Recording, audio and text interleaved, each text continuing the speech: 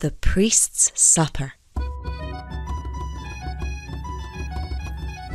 Father Horrigan was riding home one evening along a lane in County Cork. The good priest remembered that all he had to eat at home was a single crust of bread. When he was about half a mile from the village, he began to wonder which house he might call on for his supper. While he was lost in these thoughts, he did not notice the shadow of a little fella sitting on a boulder by the roadside, nor did he hear his voice chirp out. Cease, cease with your drumming. By my smell, I can tell that a priest is coming.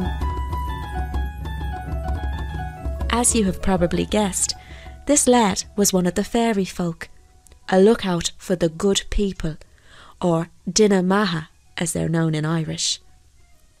His friends were making merry, as was their custom.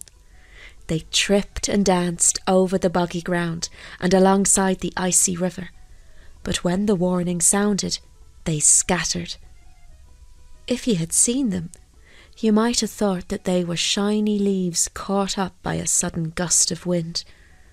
Very soon they were hidden behind brambles, stones, and clods of earth. The priest passed by the good people on his pony without so much as a Hail Mary. His thoughts were still inside his stomach. Father Horrigan had the fondest memories of a chicken stew that Moira Leary had made back in the spring. Her husband had gone out into the yard for their last hen, even though they depended on her eggs for breakfast. The couple gladly underwent hardships in return for the priest saying grace at their table. Like all the villages, they had the greatest respect for the Father, who could answer any question about heaven, earth, or in between. The priest had intended to save his next visit to the Leary family for a special occasion, such as his birthday. However, that night the hunger pangs of his stomach led him to the door of the good couple. He lifted the latch, saying, Blessings on all who live in this house. He stepped into the cottage, and his gaze fell upon the pot that was bubbling merrily above the fire. Reverend Father, this is an honour, exclaimed Moira Leary.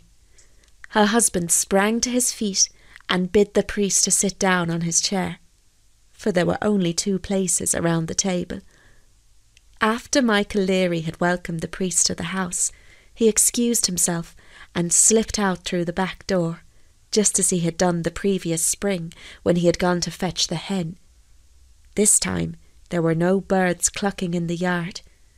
Indeed, Michael was quite ashamed that they did not have so much as a sprig of parsley to sprinkle on the potatoes that were boiling in the pot. There was just one chance of providing a meal worthy of the priest. Earlier that evening, he had set a net in the stream, and perhaps it was just possible that he had caught a fish. He hurried to the place where he had left it, and there he found not just any fish, but a huge salmon its pink back glistening in the moonlight. Usha, you're a fine fish to feed a priest, he whispered to the captive.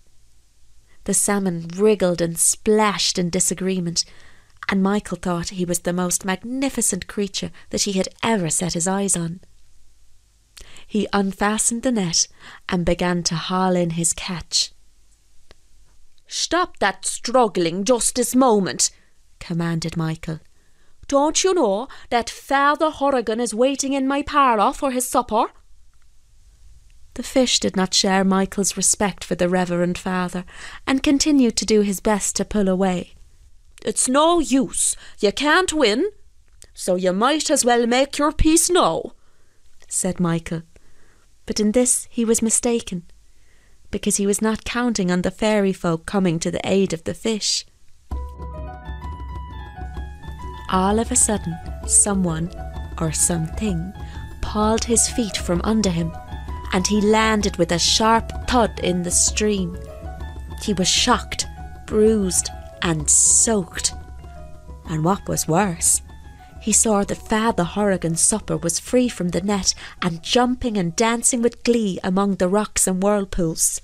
Come back, you blaspheming fish! called out Michael as he shook his fist. You will surely pay in the next world for your insolence. But the fish took no notice, and in a trice he vanished from view. Dear, oh dearie me, how shall we feed the priest now? cried Michael as he stood up, his clothes dripping in the stream. His question was answered by a little voice which said, Do not fret, reset your net, and you shall get your fish yet. Who said that? asked Michael, and then he noticed a little fella standing on the bank of the stream. I see it all clearly now, called out Michael angrily. It was you, wasn't it? You're the little devil who tripped me up. I am one of the good people, and you would do well to speak to me with civility, replied the fairy. But I see that you are angry, and I will pretend this one time that I did not hear your rudeness. We wish to help you. We shall fill your nets with two, no, wait, with three salmon each as big as the one who escaped.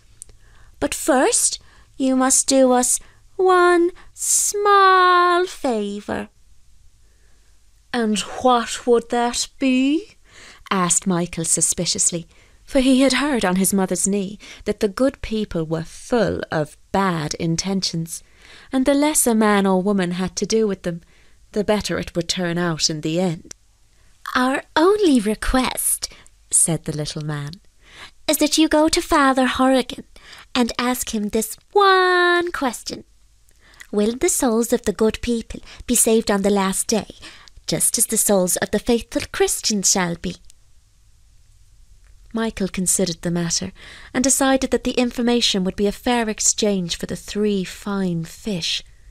He returned to the cottage and said, Reverend Father, it is a happy coincidence that you have come to our house this night, for I have a question to ask you. Is it true or not that the souls of the good people will be saved on the last day, just as those of the faithful Christians shall be? Now Father Horrigan chuckled, because he knew that Michael Leary was not a man to be curious about such matters. Tell me, son, and tell me truthfully, he replied. Was it none other than the good people who sent you to ask me this question? I cannot tell a lie, said Michael, and I always tell the truth. So it was, just as you say, good father. The priest looked him in the eye and said firmly, then go and give the fairy folk my reply.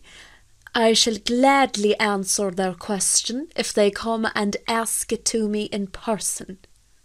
Michael nodded and did as the good father said. He returned to the stream where the little man was waiting, no longer on his own, but with row upon row of the good people, all glowing with glistening lanterns. Good people, called out Michael, I have returned with the reply of the priest, who is the most honoured and respected human alive in these parts. He bids that one or all of ye come to my parlour and put your question to him in person.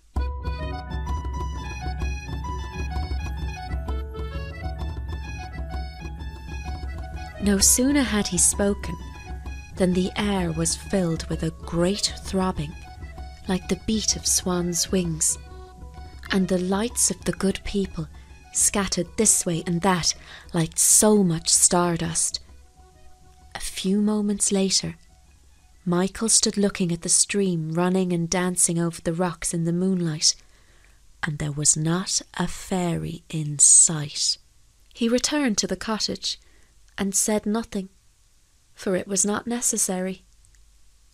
The priest ate boiled potatoes for his supper, without so much as a sprig of parsley to go with it.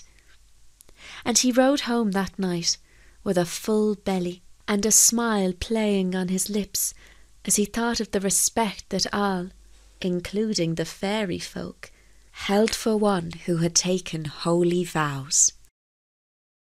And that was the story of the priest's supper, which Bertie freely adapted from a book called Fairy Folk and Tales of the Irish Peasantry, that was edited over a hundred years ago by the poet W. B. Yeats.